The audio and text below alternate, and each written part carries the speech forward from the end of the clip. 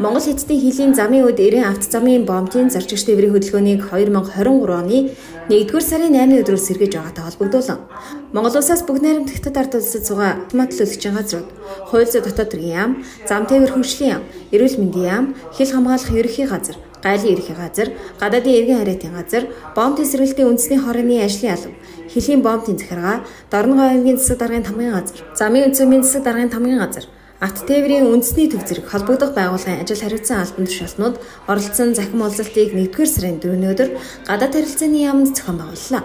Захим уулзалтын гадаад харилцааны яамны төрийн нэрмжгнээр ганх баяраа халж, замын үед дээрэн авто замын бомбын зорчигч нэвтрүүлэх үйл ажиллагааг сэргээх чиглэлээр дипломат чухмаар ажиллаж буй нөхцөл байдлыг танилцуулж, Монгол улсаас бүгд найрамд хятад ард улсад суугаа альчил сайд яам, Хөх хот дахь ерөнхий консулын газар, Ирээн дэх консулын газар болон Манжуур дахь консулын газрын дипломат ажилтнууд Монгол хятадын хилийн бомбын зорчигч тээврийн хөдөлгөөнийг сэргээх чиглэлээр авч хэрэгжүүлж байгаа арга хэмжээ, хятадын талын байр суурь, төлөвлөгөөний талаар цав үеийн асуудлаар дэлгэрэнгүй мэдээлсэн юм.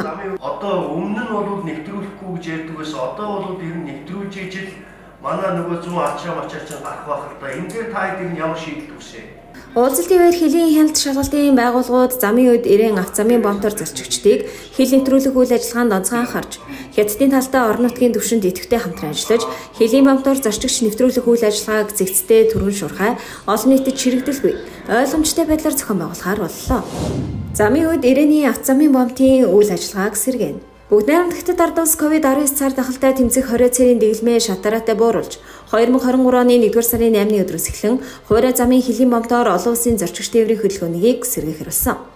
Сүүлийн 3 жилийн хугацаанд зогсоод байсан Монгол Хятадын хооронд иргэдийн харилцан зорчих хөдөлгөөнийг эхний ээлжинд замын үед ирээний авто замын бомтын үйл ажиллагаагаар эхлүүлж байгаа бөгөөд зорчигч тээврийн хөдөлгөөн 1-р сарын 8-ны нэм гарагт 8 цагт эхлэх юм а. Үүнтэй холбогдуулан гадаад харилцааны яамны хөрш орнуудын газрын захирал Алтан гэрэл, консулын газрын захирал Болд, олон улсын гэрээ хэрэгцэн газрын хөлийн хэлцээний дарга Болдноор хэвлэл мэдээлэл олон нийтэд хандан холбогдох заавар зөвлөгөө мэдээллийг өглөө. За нэгдүгээр зорчигч тээврийн тухайд за Монгол улсаас бүгд найрамд хятад ард улс зорчих иргэд дараах нөхцөлийг одоо хангасны үндсэн дээр бүгд найрамд хятад ард улсад зорчсноо. Үүнд иргэд зорчхоос 48 цагийн өмнө ковидын PCR шинжилгээ өгч сөрөг хариу авсан байх ёстой.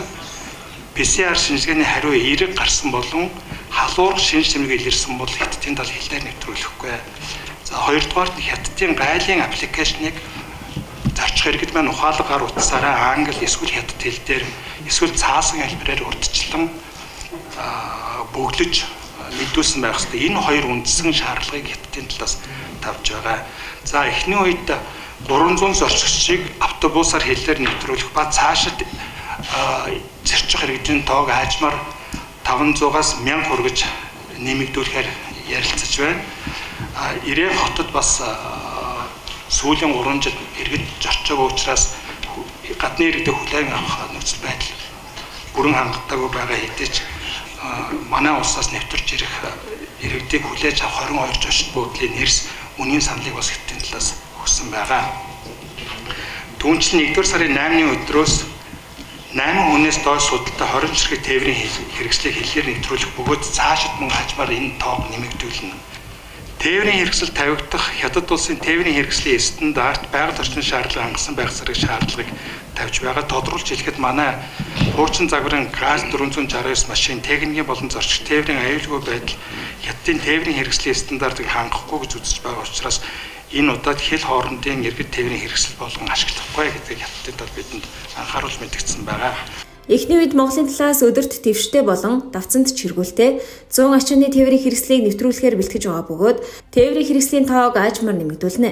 Хятадын талын олон улсын тээврийн эрхтэй 30 ачааны тээврийн хэрэгсэл хөлийн тээвэрт мөн оролцох юм а. Замуу цуга автоөрийн үндэсний төвийн салбараас 90 хотын тээврийн тангамд бол эхний ээлжинд гарах 100 одоо чингэлэг болон твш тээврийн машины мэдээллийг хөрвүүлсэн. За энэ хүрээндээ бол тухайн машинууд 8-ны өдөр гараад явна.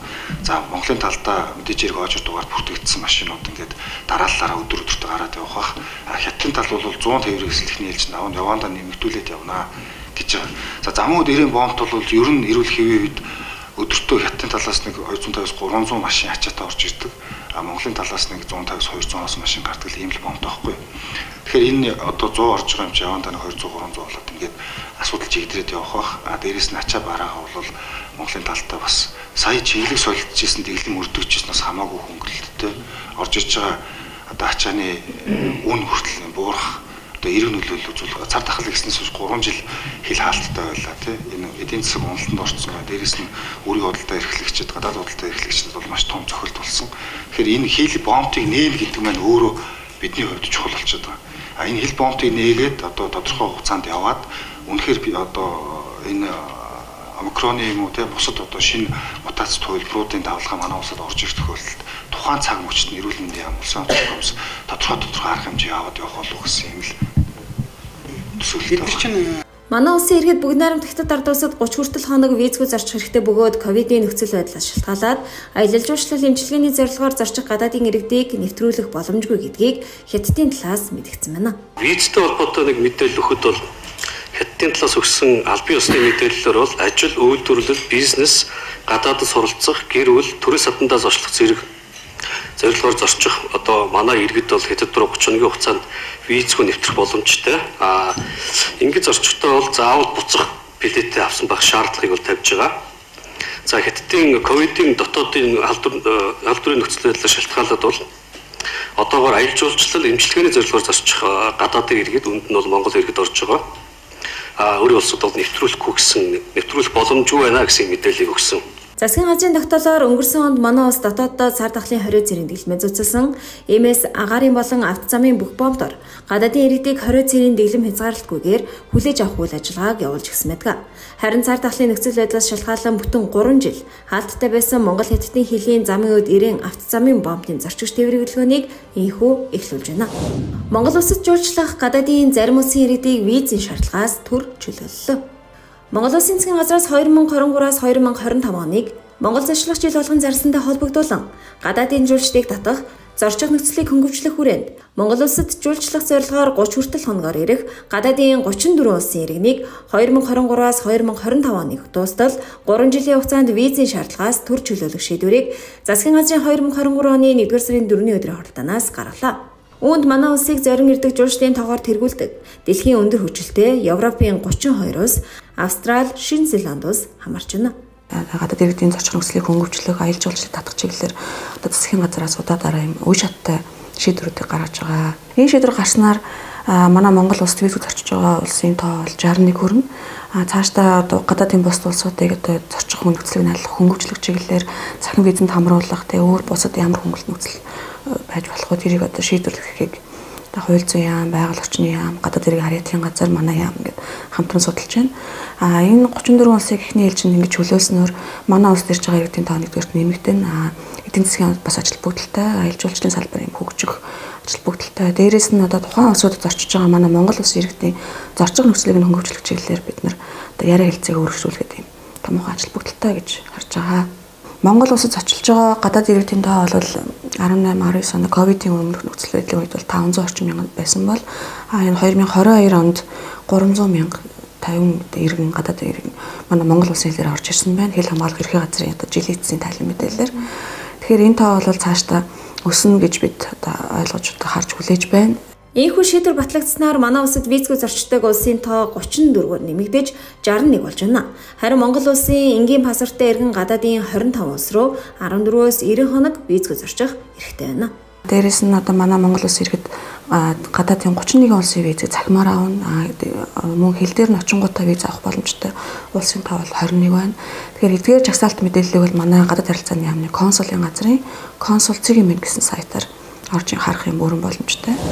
Өнөөдөр гадаад харилцааны яамны төрийн нарийн бичгийн дарга анх баяр бүгд найрамдах Солонгос улсаас Монгол улсад суух элчин сайд Ким Жонг Гүтэй уулзаж этгэмжлэх жуу бичгийн хөлбөрийг хүлээн авлаа. Улсын үеэр элчин сайд Ким Жонг Түүх соёлын өргөн харилцаатай Монгол улсад ажиллахаар томилогдсондоо баяртай байгаагаа илэрхийлж, хоёр улсын харилцаа хамтын ажиллагааг стратегийн түвшлийн түвшинд бэхжүүлж, нийгмийн эдийн засгийн бүхий салбарт өргөжүүлэн хөгжүүлэхийн төлөө идэвхтэй ажиллагаа тэмдэглэсэн юм. Талууд Монгол Солонгосын газрын ховор металлын хамтарсан судалгааны төвийн анхны хуралдааныг ойрын үед зохион байгуулах. Монгол улс бүгд найрамдах Солонгос улсын эдийн засгийн түншлэлийн хилэлцээрийн яриа хилэлцээг эхлүүлэх болон иргэдийн харилцан зорчих нөхцөлийг хөнгөвчлөх чиглэлд бодит үр дүн гаргахын төлөө зорж ажиллахаар ярилцлаа. Монгол Улсын засгийн газраас 2023-аас 2025 оныг Монгол зочлох жил болгон зарлаж, засгийн газрын 2022 оны 350 371 дугаар тогтоолоор аялал жуулчлалыг хөгжүүлэх үндэсний хорог баталсан. Энэ хүрээнд 6 дэд ажлын хэсгээ байгуулсан бөгөөд Монгол Улсад зохион байгуулах олон улсын арга хэмжээний ухаанлыг боловсруулж, олон улсад зарлах үүрэг бүхий дэд ажлын хэсгийг гадаад харилцааны сайд Баццэг ахлан ажилласан юм. Тус ажлын хэсгээс Монгол улсыг гадаадад сурчлан таниулах, аялал жуулчлалын салбарын үйл ажиллагааг сэргээх, эдийн засгийг сайжруулах, хөрөнгө оруулалтыг нэмэгдүүлэхэд чиглэсэн 22 арга хэмжээг тусгасан Welcome to Mongolia Event 2023 хуанлын нислийг боловсруулж засгийн газрын хурлаар хилцүүлэн дэмжүүллээ.